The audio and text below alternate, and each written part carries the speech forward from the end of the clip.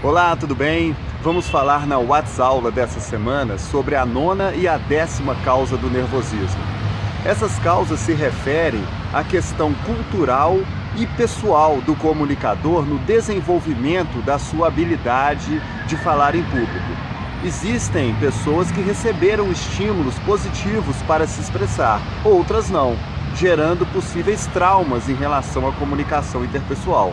Se você é uma delas, lembre-se de que os traumas existem para serem superados. Então corra atrás de buscar dentro de você uma força para superar essa dificuldade e em pouco tempo aprender a falar melhor.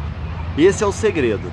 Agora, se você já tem estímulos desde cedo para ser um bom comunicador, mesmo assim treine a aplicação das técnicas de oratória, pois dessa forma você terá uma excelente comunicação em brevíssimo tempo. Um abraço e até a próxima WhatsApp aula, que ainda continuaremos falando sobre o nervosismo.